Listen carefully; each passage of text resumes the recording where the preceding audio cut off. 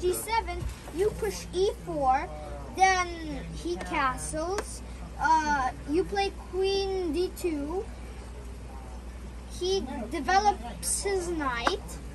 Then you castle long.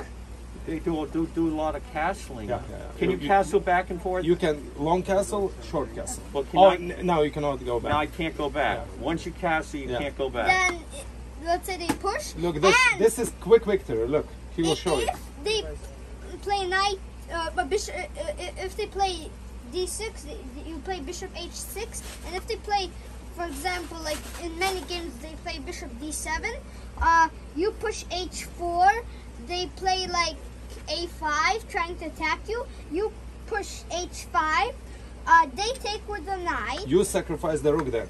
Th- You take with the rook, they take, and you play queen g5. Checkmate. And, and there's no way to stop checkmate in one move. And you won. You ever play chess? I played it in the past, but I can never finish. I, I could start nice. So could remember pieces, London system. finishing- If you, you start, Lon- London system. let's repeat one more time, and you need to take care of your customers. no, no. you know. we're good.